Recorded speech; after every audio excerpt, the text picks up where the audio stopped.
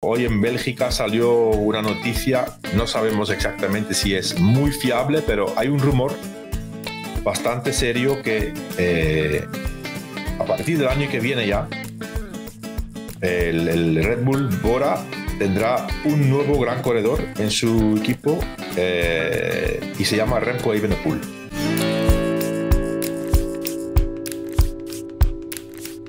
Hola a todos, buenas noches. Em, otro episodio de la movida sobre la etapa número 13 del Tour de Francia. Etapa, bueno, llana, que antes de, antes de empezar, pues no se sabía muy bien si iba, iba a pasar una escapada o si, si llegara al sprint. Em, todo eso analizaremos ahora en, este, en este capítulo de la movida con Víctor Hugo Peña. Víctor, ¿de dónde te encuentras? Hola Johan, ¿qué tal? ¿Cómo estás? Eh, buena noche para ti, para todos nuestros amigos de la movida. Estoy en, en Lourdes, y, bueno, antes, antes que nada quiero enviar un saludo a hoy, la verdad, me llevé una sorpresa bonita. Hoy están llegando muchos grupos de latinoamericanos que vienen a hacer el, tour de turismo. Y hoy estuve con un grupo que viene de Guatemala, México, Costa Rica, Colombia. Y les quiero enviar un saludo a ellos porque, porque son todos eh, la, conversación fue discusión de la movida. De por qué dijo Johan, por qué no, porque tú dijiste, eh, es bueno, para ellos quiero darles un a, los ticos y mexicanos y, guatemaltecos de este grupo de Active Travel, pues eh, gracias porque me, contaban que se lo llevan entrenando o cuando van al trabajo o cuando están en el simulador, siempre están escuchando la movida, así que un saludo para ellos. Gracias. Muchas gracias a, todos. Y, están ahí eh, pendientes del episodio de hoy, eh, pensando en la etapa de mañana y el domingo, así que bueno, un saludo para ellos. Sí. Pedir disculpas por, por, por, la hora, porque yo, yo estoy, bueno, tú estás de viaje, Víctor, yo también estoy de viaje este fin de semana, estoy en Salamanca. Eh, apoyando a mi hijo, tiene aquí una carrera de tres días y así que bueno, eh, tengo que buscar tiempo de, donde, de donde sea. Em, mm. pero, pero bueno, eh, la, movida, la movida sigue, eh, independientemente de dónde estamos y qué es lo que está pasando, ¿no? Pero, em, nada, Víctor, bueno, llegada en Po, un sitio muy conocido, ¿no? Que, muchas veces ha ido el, el, Tour de Francia a Po, en regla general, justo antes de llegar a los Pirineos o saliendo de los Pirineos a veces. Eh, muchas veces eh, zona de día de descanso también. Y, bueno, pues em, la etapa de hoy eh, era un poco 50-50, como habíamos dicho, ¿no? Pues si se podía llegar a una escapada o no. Em, empezamos el día, Víctor, con una noticia desagradable, la, no salida de Primoz Roglic.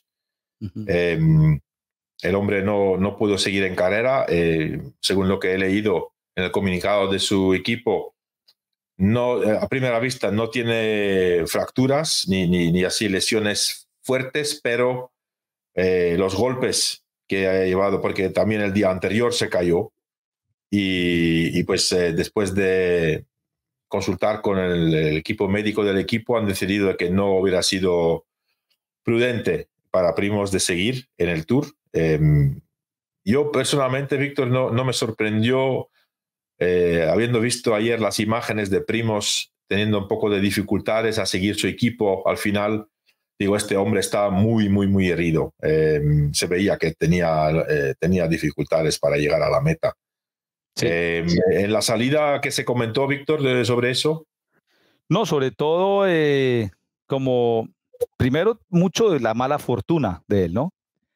De un corredor que es tal vez quitando el tour que ganó, eh, perdón, que perdió en la crono y el, y el, y el tour en aquella, aquella cuando, cuando ganó etapas, ¿no? Cuando ganó la crono y eh, esa etapa en descenso, cuando tal vez empezaba a mostrarse, eh, que se decía, no se sabe si la presión luego le pudo, o sea, esa presión que le ofrecía el tour, porque tuvo mala suerte con esas caídas y y, que las caídas de él eran caídas malas, o sea, caídas, eh, hace, cuando gana el Tour, el primer año que gana Jonas, fue un poco eh, criticado que porque, claro, que como había perdido su opción, se iba.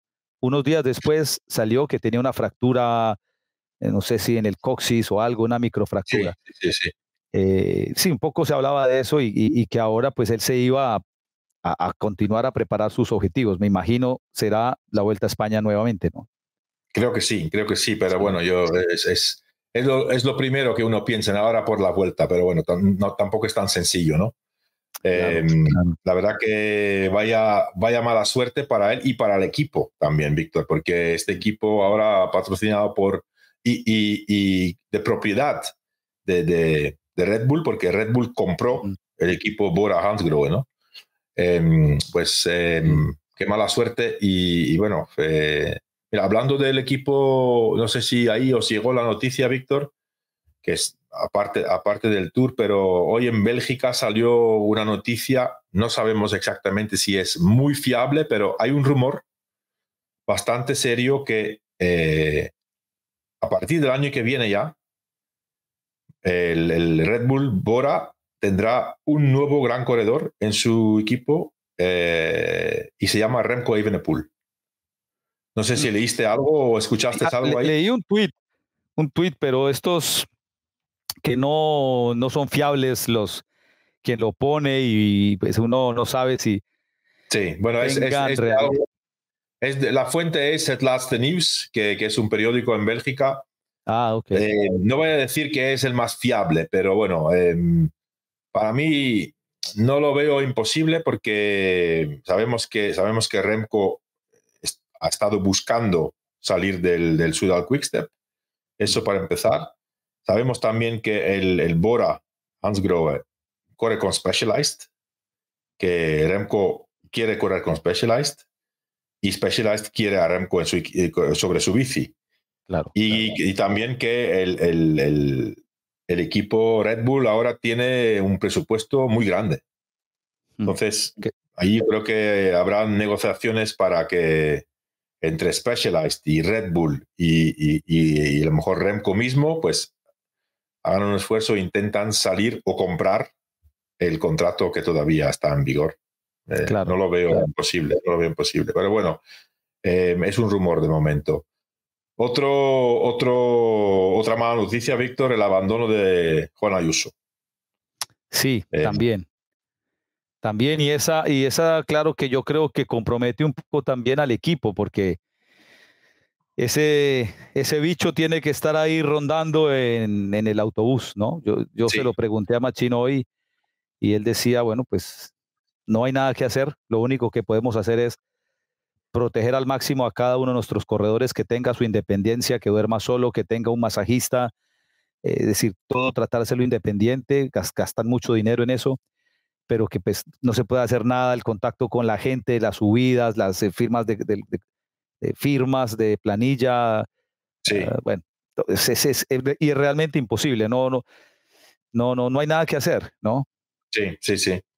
También puede explicar un poquito, ¿no? El, bajo rendimiento, de, o, no el bajo rendimiento, pero el, lo no, no, que estamos acostumbrados de, ver a Juan Ayuso así eh, en un segundo plano. Eh, hace dos días ya sufrió más de lo que esperábamos de él, eh, fue para adelante y dio un relevo corto y, luego se descolgó. Algo tiene que haber estado pasando ya, porque esto no, no, es así de hoy a mañana. Y, bueno, aquí tenemos un poco la, explicación también de su, de su nivel, que, bueno, ojo, iba el noveno en la general, ¿eh? para ser un, corredor de 21 años y su primer tour, no está nada mal, pero eh, digamos que después de la etapa del Garibier, independientemente de si ha hecho, si ha hecho su trabajo al 100% para el equipo o no, pero iba en quinta posición en el Tour. De acuerdo. Después de, esta etapa. Sí, no, y luego eh, estaba ahí y dio algunas declaraciones y se, le veía sí, aburrido, ¿no? Hablando pues porque tenía que decir, pero yo creo que eh, frustrado, estaría frustrado porque Es, un, es un auténtico ganador eh, y no, no, se, no, no, no, no se quiere ir así. No, no, así y tampoco tiene suerte porque también ya se tuvo que ir de la Dauphiné. Después de la caída, se cayó ahí con, cuando se cayeron todos y el día después, eh, no, no, sé si no salió o, o, salió y abandonó porque tenía una, una herida en, en, la pierna, creo que le molestaba bastante. Mm. Así que bueno, otro, otro que a lo mejor lo vamos a ver en la Vuelta a España, en mi opinión. Claro, y, y, y esos corredores que se van del tour, pues claro, se van como con, con una rabia por dentro que llegan a la vuelta a, ir por todo. Así que yo creo que la vuelta se, cada vez que se baja uno de estos se frota las manos porque sabe que lo va a tener en su carrera. Sí, sí, bueno, se frotan las manos, pero al final es, es, el mismo propietario, ¿no? Eh, a eso es propietario de la Vuelta a España también. Claro, claro. Em, la etapa en sí, Víctor, pues eh, como previsto, una, una salida súper, súper rápida y al final, pues eh, se va un gran grupo, eh, creo que 17 corredores y sorprendentemente, Víctor, está Adam Yates. Adam Yates que está adelante en la bueno, está en, y creo, que hoy, antes de hoy, iba en séptima posición en la, en la general, creo. Em, pero claro, no sabemos, yo no sé si, si fue deliberado o no, si fue un plan del UAE o no, porque a veces siguiendo las, ruedas, pues de repente te encuentras en la escapada, pero me imagino, me imagino que todos los que iban en la escapada al ver a Adam Yates habrán dicho, pero ¿qué haces aquí? ¿No? Claro, sí. Tal vez, no sé si le dirían como en aquellas grandes vueltas de antes, que uno hablaba cuando se filtraba un corredor así, le decía, por favor, quédate, mira, no nos dañe la escapada. Y era como una lucha entre los de la escapada con aquel que iba y, y hacía su trabajo, ¿no? Porque en este caso, Adam Yates lo que hizo fue realmente neutralizar esa escapada y, y, salvarle, salvarle la piel al UAE. Sí, sí, sí. Además, poner la presión sobre el Ineos, el Bisma y el Sudal Quickstep. Exacto, claro que, han, tenido, han tenido su trabajo para ir a, buscar esta escapada, ¿no? Pero bueno, todo eso, Víctor, aparte de algún, algún tramo que había viento lateral que aumentó el ritmo, eh, vimos eh, en, dos ocasiones eh, Pogachar intentando formar abanicos. No sé, no me gusta mucho esto, no me, hombre, está bien. si, si, a veces si coges la iniciativa, pues evitas, provocas tú la situación y evitas de tener que reaccionar, pero no creo que etapas como hoy y sobre todo tal como están organizados los equipos hoy en día, yo no veo ya así sorpresas con el evento lateral. Eso ya, yo, creo que es un tema del pasado, porque todos están tan fuertes y tan bien organizados que ya no se ve eso, ¿no? Y una cosa eso y otra también Johan, hay, mucha información. Eh, hoy, por ejemplo, tuvimos la posibilidad, bueno, tuve la posibilidad de parar donde está el, la camper de Pro Cycling Stats y hablé con el hombre. Me imagino le conoces a Stephen. Sí, sí, sí, sí. Y le preguntamos, yo pues, le dije que si le podía preguntar. Y dijo, sí, sí, aquí no hay secretos, me dijo, ¿no? Si yo le pregunté, bueno, ¿cómo tienes tanta información? Dijo, tengo muchos contactos, muchos amigos en todas partes, y me dijo unos datos importantes, me dijo que toda la información que él tiene, que recibe, eh, hay equipos que utilizan, de hecho, él les, les vende la información y trabajan con su información. Y, libremente puedo decirlo, ¿cuáles equipos? Dijo, hay dos, dijo, sí hay dos, ¿cómo se llamaría?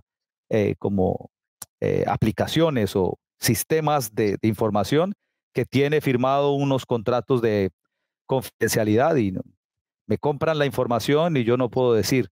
Y, me decía que toda esta información casi que se estructura entre todos los equipos y entonces saben diferencias, viento, temperatura, velocidad.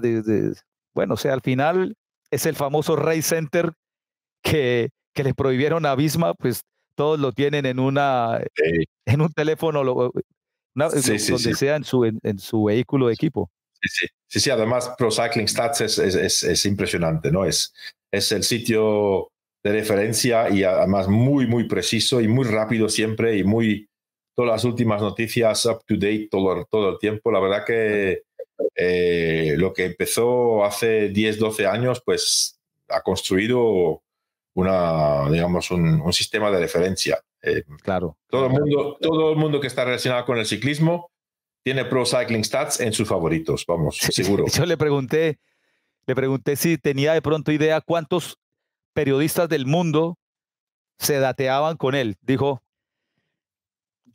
no, no sé si decir muchos, pero yo creería que todos, todos tienen mi información.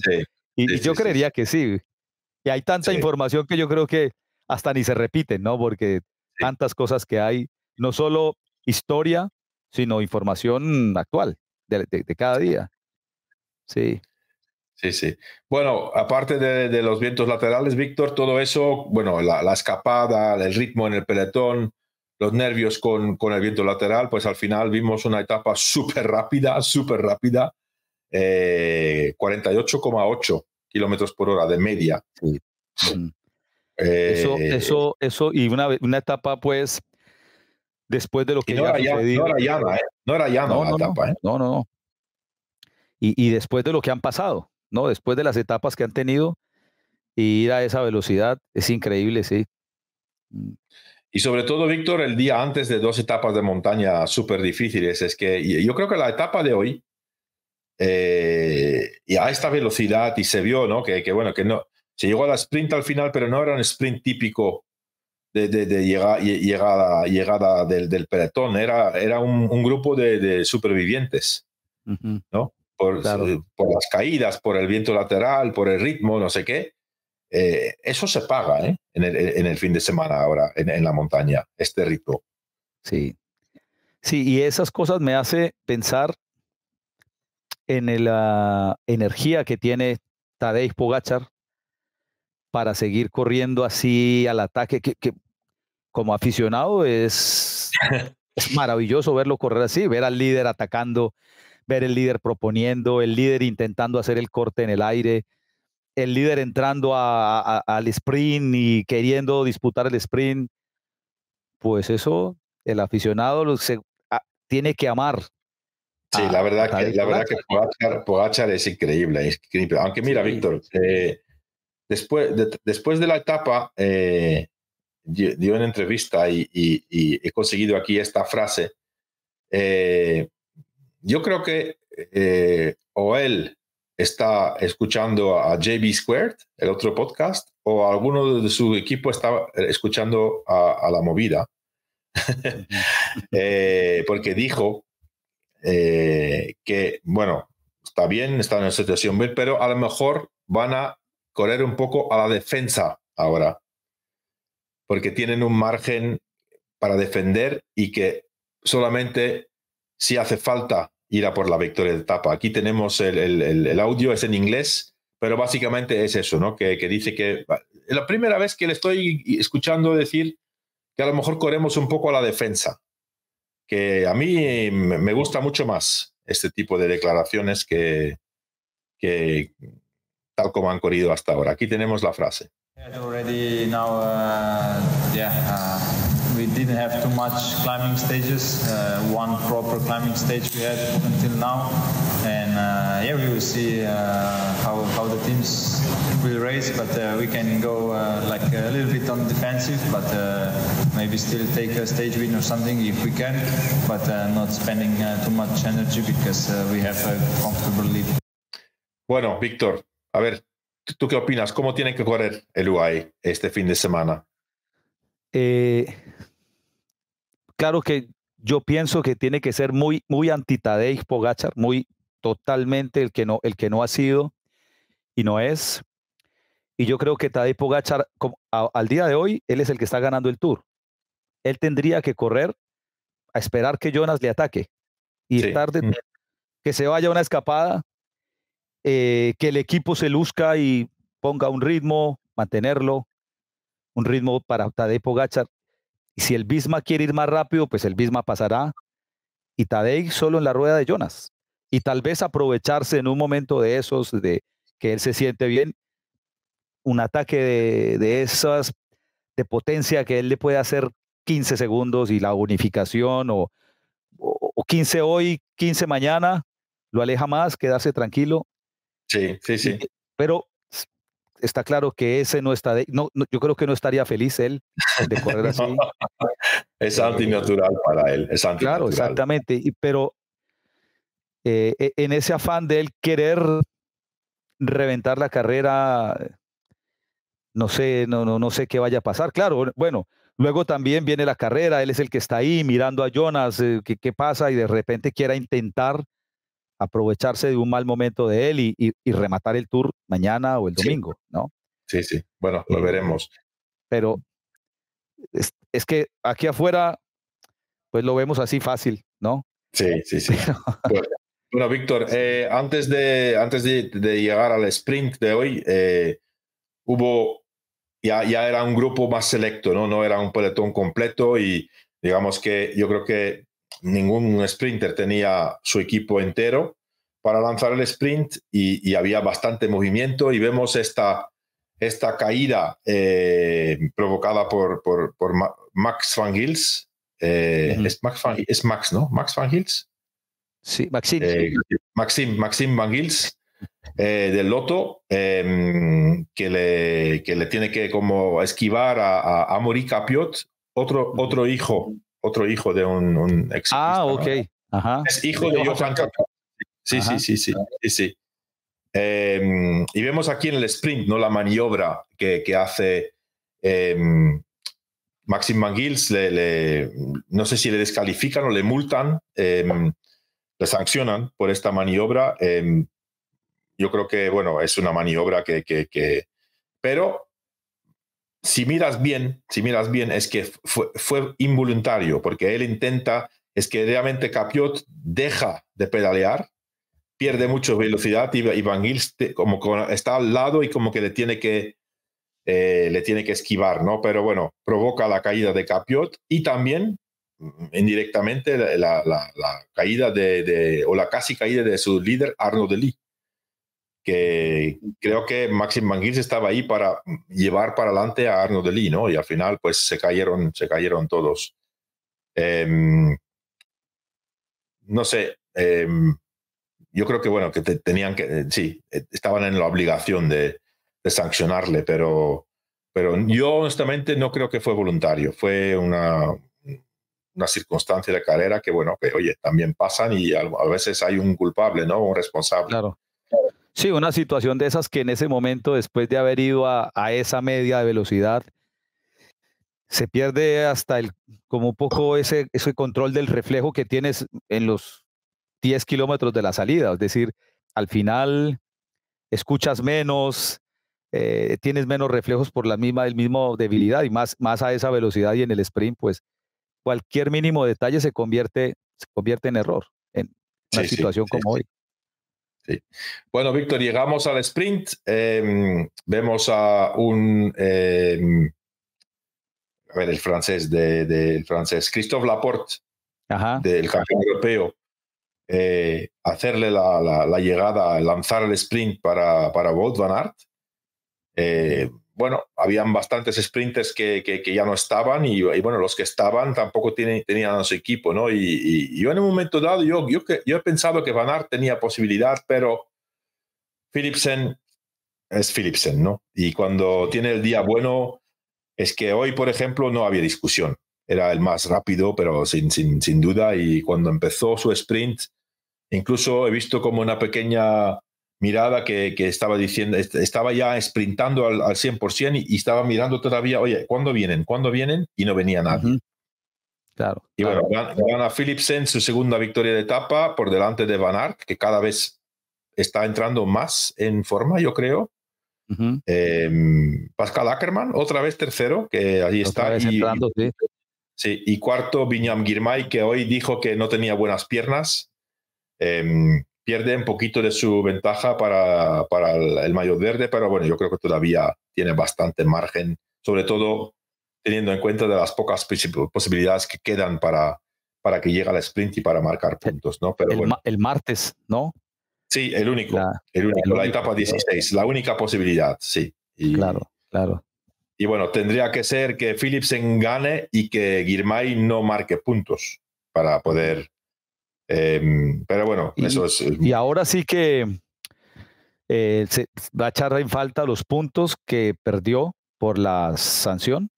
Sí. Y el día que no entró al sprint, el día fue el segundo día, creo, no sé, el día que no, un día que no entró al sprint, ah, que creo que estuvo en la caída o algo, no me acuerdo bien pues, ahora. Estaba detrás de la caída, sí, sí, era, era cuando, eh, no me acuerdo cuándo fue, eh, yo creo que fue, no, no, no fue cuando ganó Grunewegen, fue cuando, sí, cuando ganó sí. Girmay, no, eh, fue cuando, sí, cuando ganó Girmay su primera, su primera etapa. Sí, sí, sí, sí, sí. Pero bueno, oye, pues mira, eh, es una eh, Philipsen, yo creo que mm, es, es, es, es un sprinter súper rápido, también crece durante el tour, está, yo, yo, creo que está creciendo todavía durante este tour. Y bueno, para yo, yo, yo creo que la, la, etapa 16 todavía queda, ¿no? Hasta ahí, pero yo creo que le va a igualar a, a, a Girmay con tres victorias. Sí, luego, viendo también ese sprint, creo que Wout Van Aert dudó un poco de él hoy, no sé, porque hoy el tipo estaba muy, muy fuerte, pero sí, justo sí, cuando, sí. cuando Laporte se quita, él levanta el pie y ahí sale Jasper y tiene que ir por él. Creo que tuvo, no, no, no, no, no creyó estar tan bien, no sé, es mi, es mi, mi parecer. Pero ya Van este hombre... He visto una declaración de Van Aert que dijo que, que él ya eh, ha decidido de que cuando pueda va a intentar hacer un resultado, que ya, ya, ya está cansado de esperar las ideales, eh, las oportunidades ideales, que claro, cu claro. cuando pueda va a ir por él porque nunca se sabe qué es lo que puede pasar. Y, claro, es un corredor un poco frustrado, ¿no? Porque ya ha pasado bastantes eh, contratiempos y, y, y, bueno, oye, ahí está otra vez, segundo. Yo creo que Van Aert todavía puede ganar la etapa, ¿eh? Sí, es increíble. Eh, bueno, Tadej Pogachar tiene muchísima atención de la prensa, claramente, pero eh, lo que mueve Wout Van Aert es increíble. O sea, es decir, es, hay, hay corredores que se ganan eso por su calidad, por su carisma, por eh, su porte, pero es increíble. O sea, la nube de prensa y gente. detrás, yo te diría poquito más que Jonas, totalmente, bastante más que Jonas, sí. sí Pero lo de él es una cosa increíble, sí. Ah, es un súper buen corredor, Víctor, es que es un campeón. Eh, bueno, Víctor, mañana, eh, mañana etapa 14. Antes, de, antes del tour dijimos, ¿no? Que primera cita eh, difícil, la etapa 4, luego la contrarreloj, pero que el tour, el tour empieza en la etapa 14. Bueno, los ciclistas que van a escuchar este, este podcast me van, a, me van a llamar de todo. Como para, imagínate que, Víctor, entramos en el autobús. Digo, chicos, bueno, ya ha sido, bueno, hemos tenido unas etapas eh, un poco interesantes, pero el tour empieza mañana, ¿eh? Imagínate. pero realmente empieza mañana. claro. Que, sí, que es, es, no, es, la, es, la, primera, es la primera etapa real de alta montaña. Que bueno, sí que, sí que, sí que subieron el, el, el Garibier, pero, pero bueno, eh, era un poco atípico, atípico, ¿no? Pero la, la, verdadera etapa de alta montaña primera es mañana. Claro. Y, y, y luego lo que tú dices, ¿no? La diferencia que es 4.000 metros distribuidos en 200 kilómetros a 4000 solo en 80, ¿no?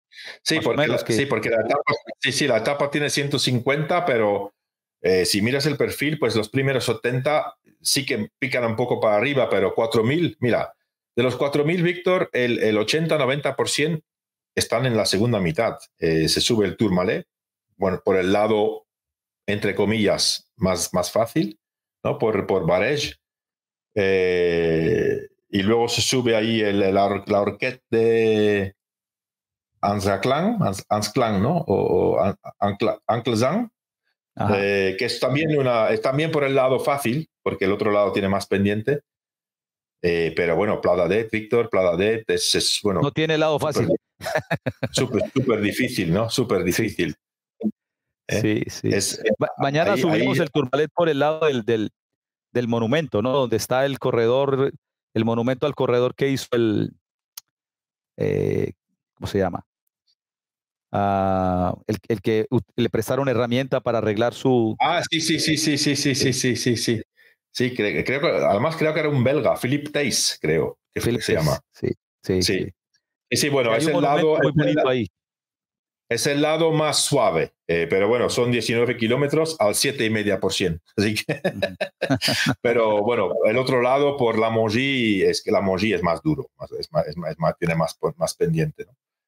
Eh, pero bueno, etapón, mañana etapón eh, y el día después también. Así que vamos a ver qué es, eh, qué, qué, decide el UAE.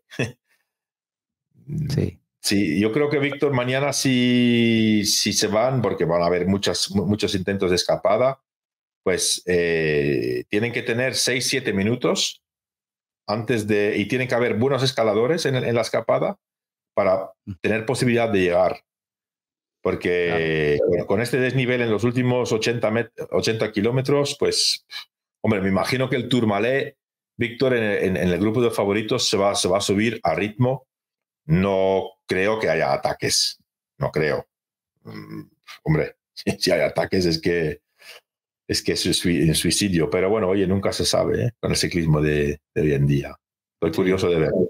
Esa, esa palabra tuya quería eso, que, que de, de, estar curioso, porque al final es como desde acá nosotros ver que no, no, no tiene hecho el tour, pero tiene una gran parte, porque es 1.16 en este momento es una diferencia para cuidarla, para protegerla y, eh, y esperar una, una, uno, un ataque al final de la etapa o sí. de, de, hoy, de sí. mañana en, en, en, Niza. Y, pero bueno, no sé, es la forma de correr de Tadej y, sí, sí, sí, sí. Y, y, seguramente así gane el Tour y nosotros nos tendremos que callar eh, y, y, disfrutar, claramente, obviamente sí. también agradecer por su manera de correr. Bueno, Jonas también, yo, ojo, Jonas es un serio candidato, eh, Víctor, es que 1.14 ahora entramos en su terreno. Eh, no, la, la, gran, la gran duda, la gran cuestión es eh, a ver si Pogachar puede mantener este estado de forma o si, si poco a poco va un poquito a menos y si Jonas todavía está encrechendo. En ¿sabes lo que está en de, de, de, Jonas? La confianza, la confianza y la moral. Esto está en seguro.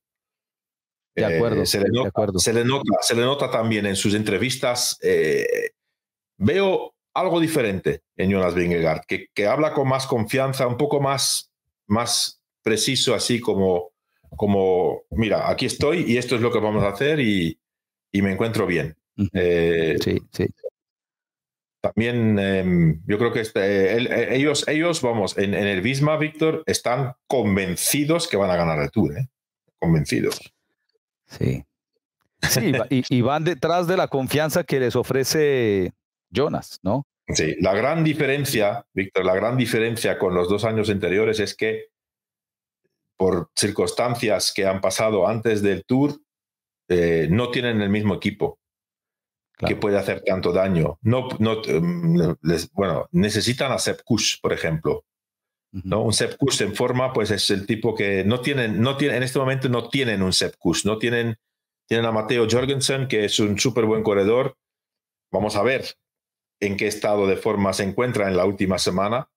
Eh, y bueno, tienen también a un Walt Van Aert, que en un momento dado, oye, a lo mejor hacen el truco de clásico, que Wout Van Aert se, se, mete en una escapada y que luego, de, luego le, eh, él espera eh, y hasta el pie del último, la última subida y hace dos, tres kilómetros como solamente sabe hacer Wout Van Aert.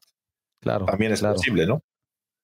Y él también está entrando ya en, en una muy buena condición y estos días eh, quitando el sprint ha, ha estado allá un poco en la recuperación, en la parte sí, trasera sí, sí, del grupo. Bueno, obviamente con, con Jonas, pero eh, creo que está, está también interesante saber lo que va a pasar con el Jumbo, con el, con el Bisma, eh, en este final de, de, Tour con Mateo Jorgensen, con Ties Benot, eh, con, ¿cómo se llama? Kelderman.